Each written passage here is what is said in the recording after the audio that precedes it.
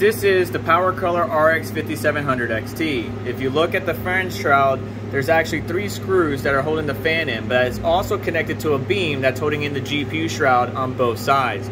You unscrew these six beneath the fans and you should be able to remove the fans itself. Now to tear down into this GPU, it's very simple. I already have it tore down, but there's really six screws. Four for the GPU and then two more on the top and bottom.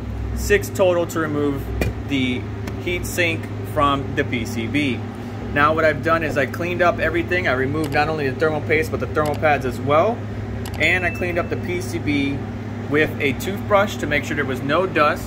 I save the thermal pads and I use alcohol everywhere.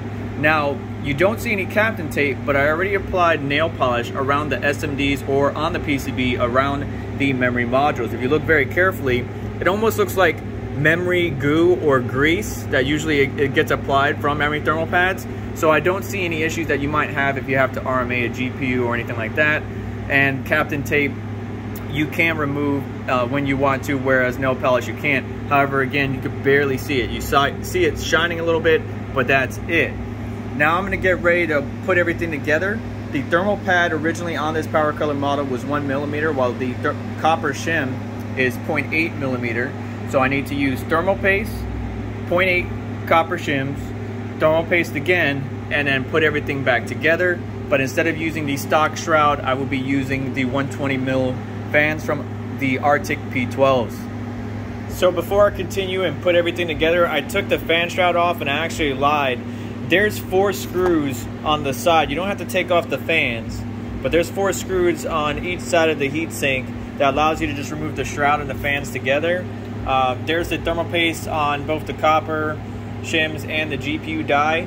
To really get this into position, what I'm to do is I'm to turn this to the side and then flip this over and carefully lay it down rather than do it this way because if those copper shims fall off for whatever reason, that could be a pain. Uh, but you just got to make sure your alignment's good. It doesn't have to be super perfect.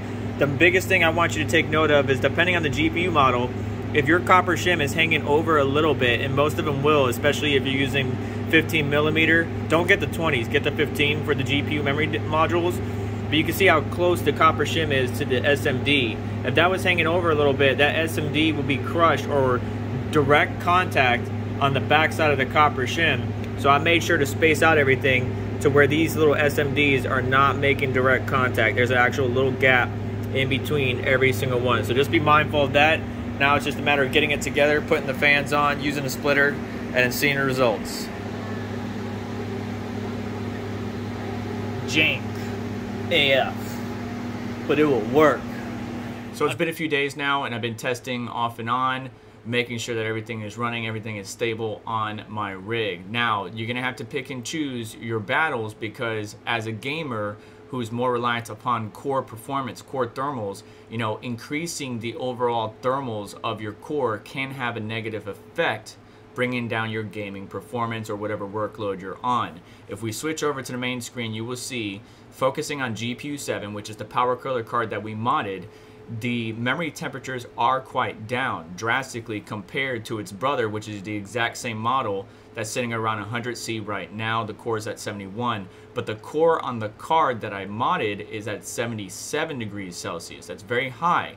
And the reason that is, and you got to take this into account, it really depends on the cooler or the heatsink of your GPU. The power color GPU or, or heatsink is very small, and so we're we're absorbing that extra memory heat into the the heatsink, but now we're also impacting the GPU core thermals, increasing that. So for a gaming perspective, this mod wouldn't be uh, as advantageous. However, for my situation, making the system more stable 24/7 and bringing down the memory temps it is beneficial for me. So you're gonna have to pick and choose the data that you get from various content creators. I just wanted to share this with you. If I do the Copper Shim mod on a different GPU with a bigger heat sink, it may be uh, better performance because there's more surface area for that heat to be dissipated in uh, and so on and so forth. If we actually look at the original here, again, focusing on GPU 7, which is the second to last one, you know, we did drop the memory temps quite significantly, but we increased the core temps by almost 5, 6C depending on how much hotter it gets here. Now the XFX stick, I did do some mods to. What I did is I replaced the stock thermal paste with the Gelid thermal, uh, no, excuse me, thermal pads with the Gelid thermal pads.